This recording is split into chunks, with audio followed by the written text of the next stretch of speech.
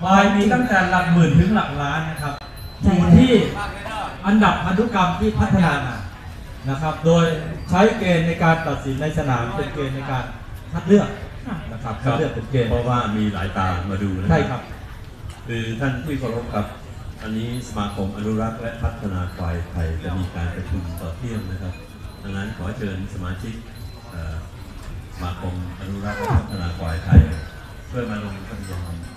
ที่บนเวทีบนเวทีครับด้านซ้ายมือนะครับเดี๋ยวเราจะประชุมกันเที่ยงนะครับตรงไหน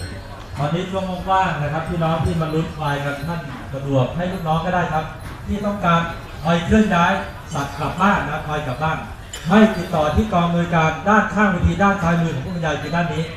ด้านนี้นะครับ พี่น้องไปติดต่อด้านซ้ายมือเคลื่อนย้ายสัตว์นะครับอยู่ตรงนี้ทำไมเคลื่อนย้ายไม่รอเลยนะคะนะครับด้านซ้ายมือทางนี้ว่างๆนะเดี๋ยวมันฉุกก็หุกครับพี่น้องบ้างก็บอกเออไปจัดการหน่อย นะครับดีและจะได้รวดเร็วใช่ครับมี